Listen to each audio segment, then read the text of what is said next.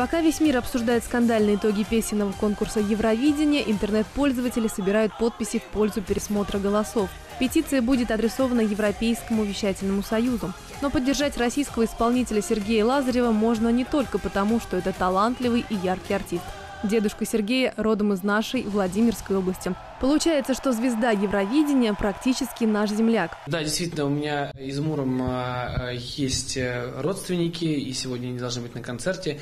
А, это двоюродные, а, троюродные родственники. Я их э, сам никогда в жизни не видел. А, вот сегодня я так думаю, что после концерта, может, удастся с ними увидеться.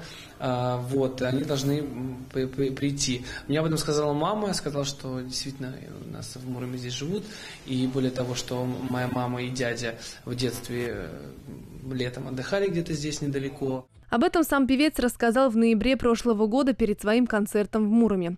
Сами родственники звезды Евровидения, несомненно, могут гордиться Сергеем. Впрочем, как и все жители Владимирской области, которая, пусть и очень косвенно, но стала причастна к мировому музыкальному конкурсу.